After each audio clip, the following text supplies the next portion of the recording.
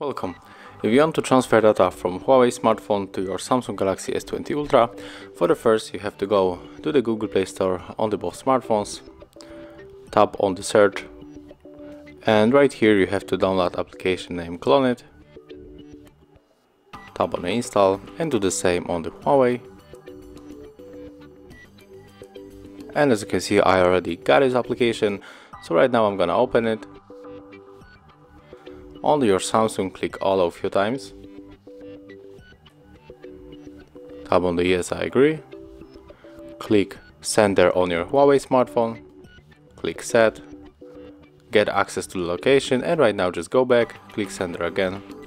And tap on the receiver on your Samsung Galaxy S20 Ultra. Tap on the allow all the time, click on the search again.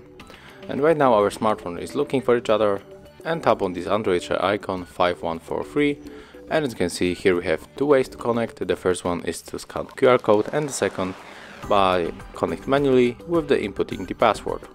I'm gonna sc scan QR code so let's tap on it, click on the allow.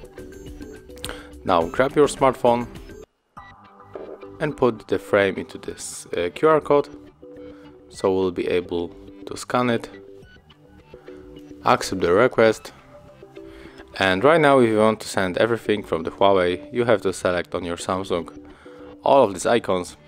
But in my case I'm going below to the details and I'm gonna send few songs. Uh, maybe this one and this one. So Rise from League of Legends, the Riot Games, Circles and Better Round from Post Malone. Tap on the start. Okay, and it's finished. So right now when we are going to the files on our Samsung Galaxy S20 Ultra, here we will find